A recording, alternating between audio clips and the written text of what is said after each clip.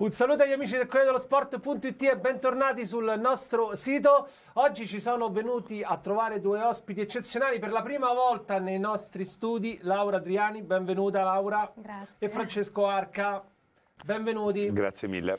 Allora, so che voi volete parlare di sport, so che voi volete parlare di calcio, lo so, lo so che siete venuti per questo. Tra l'altro Francesco si è anche candidato, insomma, per avere una rubrica sul quello sport, lanciamo qui l'appello, poi vedremo, però adesso prima parliamo, prima parliamo di cose, di, delle cose per cui siete qui oggi, ovvero sia di questa fiction che è già partita, Fiction Rai, che si chiama Resta con me.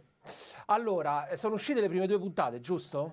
Assolutamente sì, sono uscite le prime due puntate domenica scorsa eh, in prima serata su Rai 1, domenica ci sarà il secondo appuntamento e niente, siamo, siamo, molto tiepidamente contenti, non vogliamo fare nessun tipo di proclamo perché comunque è stato, è stato un ottimo risultato per per la nostra prima volta insieme in, eh, protagonisti sì. su Rai 1. Direi di sì, anche perché insomma questa fiction, eh, per chi ancora non ha visto le prime, le prime, due puntate, insomma ovviamente è già disponibile anche su Rai Play, insomma si può, si può assolutamente reperire un po' eh, sulla piattaforma. E è, una, è, una, è, una, mh, mm, è, una, fiction che è un thriller, è un poliziesco, ma che nasconde dentro tante altre storie belle, interessanti, soprattutto molto attuali, no? Sì. Perché c'è il tema dell'adozione, c'è il tema della famiglia, ci sta anche dei sen- cioè, c'è il sentimento, c'è il romanticismo, ci sono sì. tante cose dentro, giusto? I rapporti personali sono, sono, i rapporti personali che intercorrono fra i personaggi, i rapporti familiari di cui vi parlerà sicuramente meglio Laura che è diciamo, chiamata in causa proprio su questi rapporti eh, sono, sono, approfonditi, sono sviluppati, sono tanti temi toccati, eh, sviluppati, non giudicati perché lasciamo una libera interpretazione anche allo spettatore di buttarsi dentro questa, questa serie. Che bravo, Parlavo... io non lo so se adesso eh, voglio parlare. Eh, adesso c'è la competizione, vedi, c'è la competizione, adesso vediamo chi è più bravo, scherzano. Senti Laura, il tuo ruolo, invece il tuo personaggio, è quello che tocca un po' proprio il tema sociale, giusto? Sì. Me lo vuoi un po' raccontare innanzitutto? Allora, innanzitutto il mio ruolo è quello di Paola, che è un giudice dei minori, quindi già questo sì. ci, fa, ci, fa, capire di che cosa lei si occupa. Eh, inoltre, appunto, eh, il suo compagno, suo marito, Alessandro, eh, dopo diciamo, una disgrazia che ci è capitata, e il pubblico ormai sa che, che è stata la perdita del nostro bambino, decide di portarmi a casa un ragazzo, un bambino di 11 anni, appunto interpretato da Mario Di Leva, che salutiamo amore. E, ehm, che succede? Che eh, ovviamente lei fa fatica ad accettare questo bambino innanzitutto perché sta male e poi con l'andare avanti del tempo in realtà si scoprirà eh, sicuramente un rapporto tra questi due eh, esseri umani, un bambino e una donna eh, grande, eh, ma in realtà si scoprirà un rapporto di interscambio e non solo con me, ma anche con lui e la presenza di Mario diciamo farà da aiutante anche a questa coppia perché anche di questo parla la serie, non solo di adozione, non solo della perdita di un bambino, di maternità, eh, di, di, ovviamente di un poliziesco, ma parla anche di una crisi di coppia sì. molto grande, molto molto molto grande e molto profonda. E noi siamo in un tempo un po' strano per quanto riguarda le coppie. Io non sono sposata, non sono fidanzata, quindi sono l'ultima che può parlare.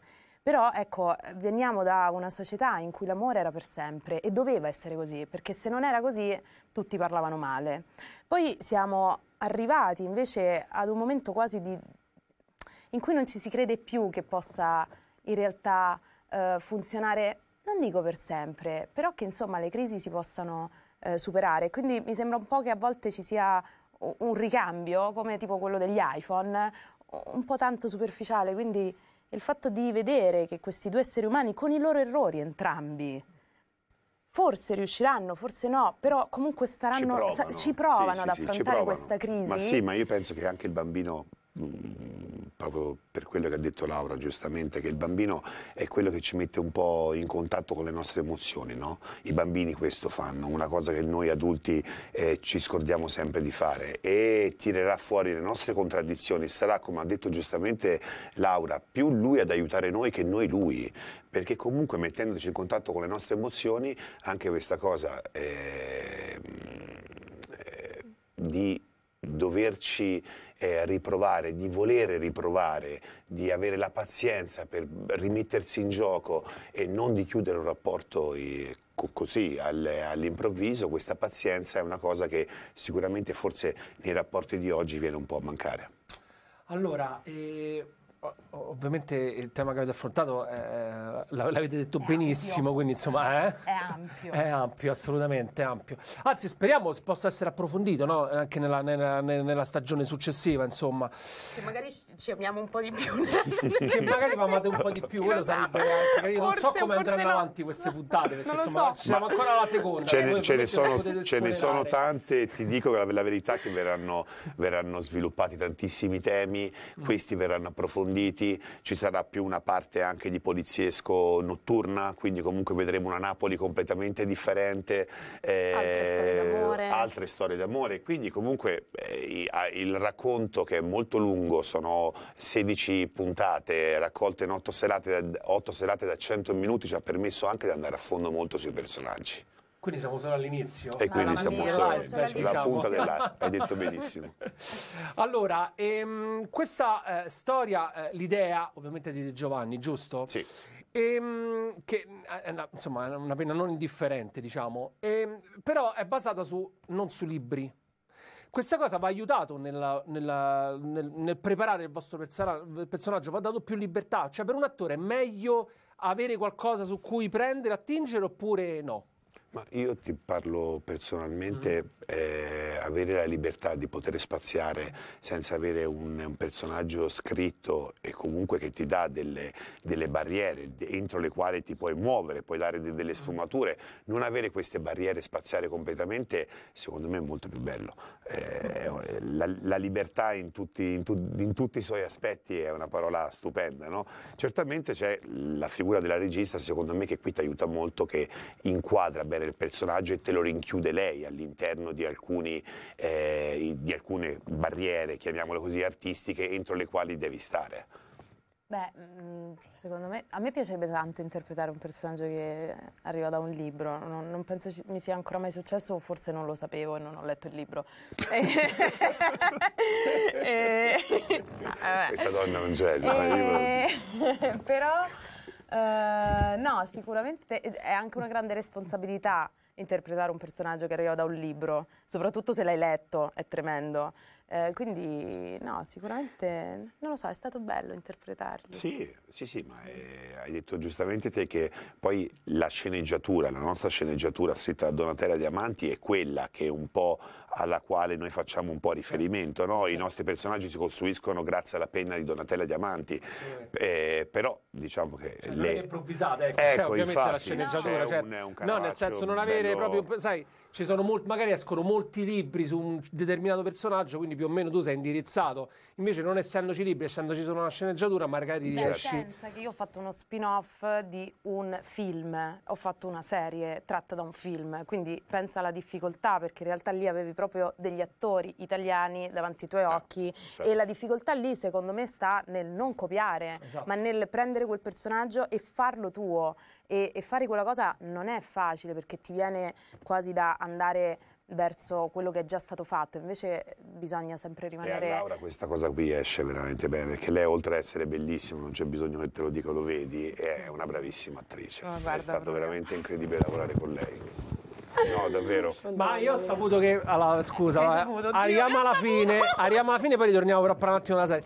Ho, della fiction. Ho saputo che, insomma, durante le riprese, no? Eh. È anche un galantuomo, Francesco, perché ti, cioè, quando andava a cena pagava sempre lui, è vera questa cosa? Allora, è impossibile tirare fuori il portafoglio con Francesco, Possibile. ma non lo fa solo con le donne, lo fa anche con gli uomini. Sì, sì, certo, io no, gli dicevo, senso... tu hai dei figli, Cavaliere. la devi smettere. Io facevo così, tu hai dei figli, la devi smettere. Ma non, non so, però, sta cosa del, del senso di responsabilità, del, sai, essendo siamo i protagonisti di questa serie. Un po' quando andavamo anche con gli altri attori mi sentivo un po' il, in dovere, in dovere no? come se fosse. Con Laura invece era solo, era solo, assolutamente un piacere. Eh, e noi abbiamo lavorato molto prima, un mesetto prima di cominciare a girare la serie ci siamo fatti tante cene insieme, perché comunque sai, eh, la fortuna di avere il tempo a quel punto lo, lo, devi sfruttarlo al meglio. No?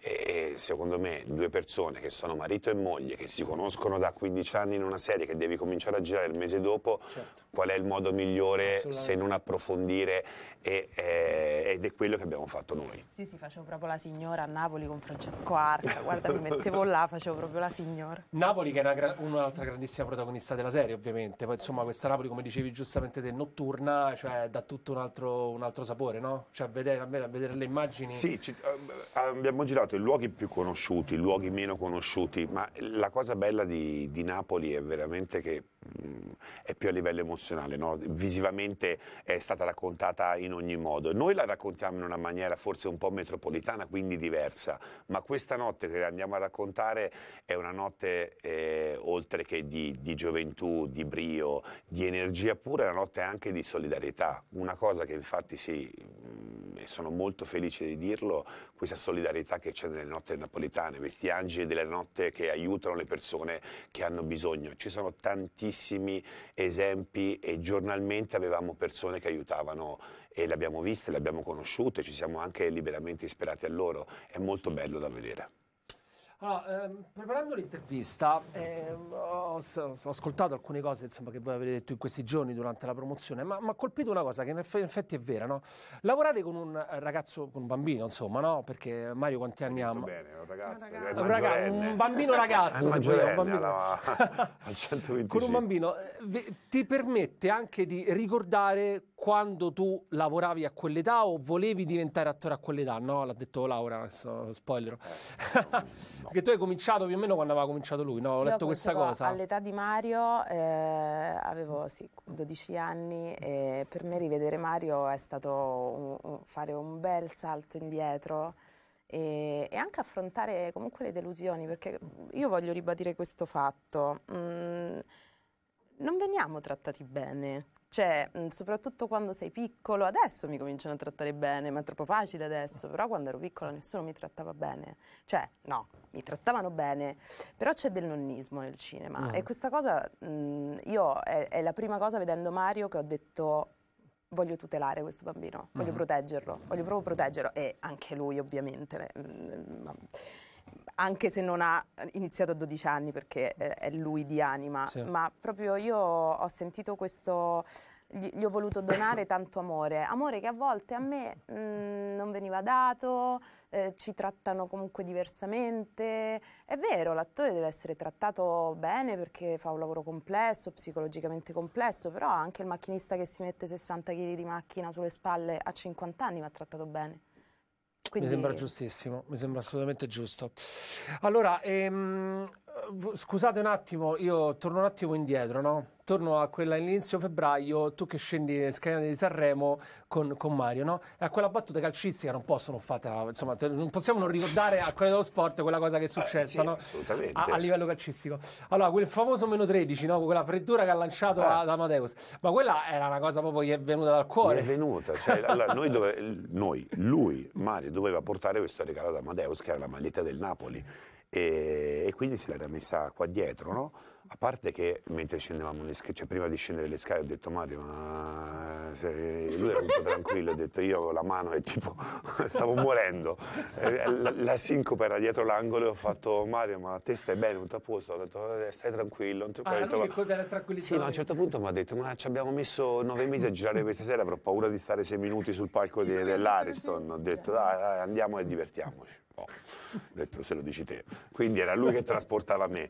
E poi ha avuto questi, questa intuizione che comunque è figlia proprio di, di una sua intuizione, ma del suo istinto che i bambini, come ti dicevo prima, portano senza nessun tipo di, di, di, di paura, paura sì, di, timore reverenziale. E quindi ah, gli ha, gli ha, detto questa cosa che è stata geniale, ripresa tutto a, a Napoli, è diventato insomma... Beh sì, è, stata, è stato un bel traino perché veramente ne parlavano tutti. Assolutamente, assolutamente. parlava... Ma posso dirti invece la meraviglia di Francesco Arca di eh, dire senza paura, nonostante sia un uomo di più di un metro e novanta, un sex symbol italiano, un figaccione della Madonna, la mh, serenità nel dire eh, quanto era emozionato di fare sì una scalinata, dire due parole, tornare indietro, dire presentare la serie. sì, che, no?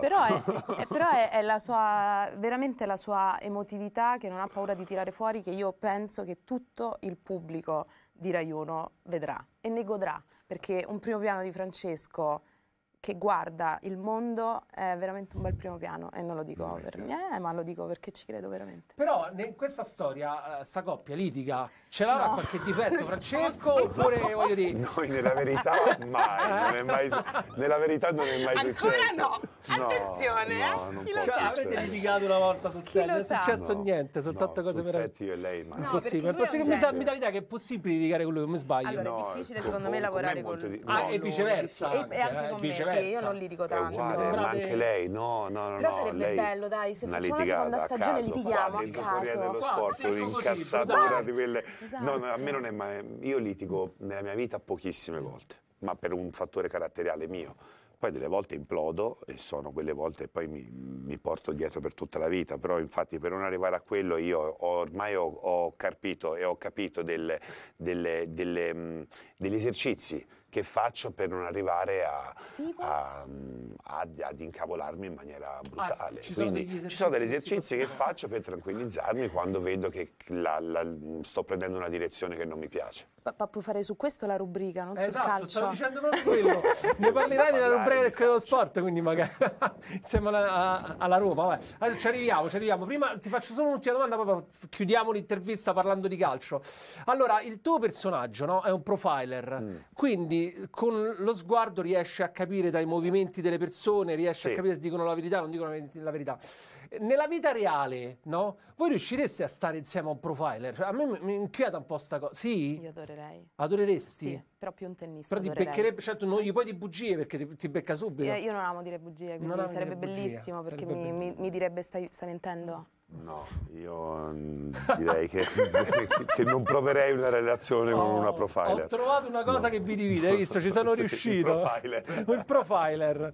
Allora, parliamo, chiudiamo questa intervista. Sono venuti qui anche per un altro motivo, lo vogliamo dire? Sì, assolutamente per sì. parlare di calcio, per parlare di calcio. Perché Francesco Arca, ma anche Laura Adriani, si sono un po' divisi i ruoli anche in questo, in questo campo. Allora, io, Francesco è un patito clamoroso della Roma, giusto? Sì, sì, io io sono un... Eh, un moderato? No, no, un patito, no, ah, assolutamente no, no okay. sono un patito tifoso della Roma e un moderato intenditore di calcio, Vedi. perché lo seguo, seguo tutte le, eh, le altre competizioni, eh, altri campionati, quindi mi piace informarmi, è una cosa che, che ho sempre avuto, una passione passione che ti porta anche a seguire la Roma all'estero, giusto? Ho saputo, ogni tanto vai, segui la squadra. Quando anche... il lavoro me lo permette, certo, ma anche quando non lo permette. Anche quando non lo permette.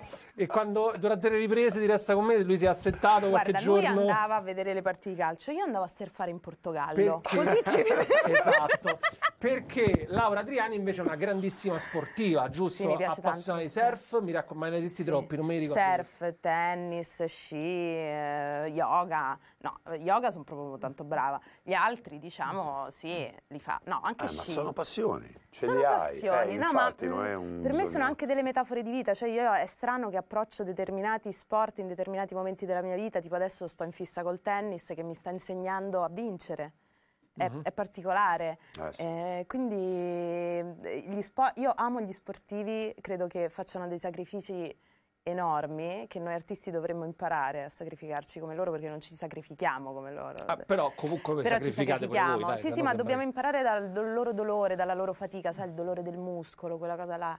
E, e quindi gli sport sono, sono, stupendi, soprattutto quelli a contatto con la natura, io li amo fortemente. E su Mourinho che ne pensi? Eh, eh, fra i primi tre allenatori al mondo, il più grande comunicatore al mondo, eh, Murigno logora chi non ce l'ha. e quindi speri che possa restare alla Roma, perché sai, ma, ci sono voci ma, contrastanti. Ma non so, chi, chi, la pensa in maniera diversa vuol dire che, non, che, non, che capisce poco di calcio.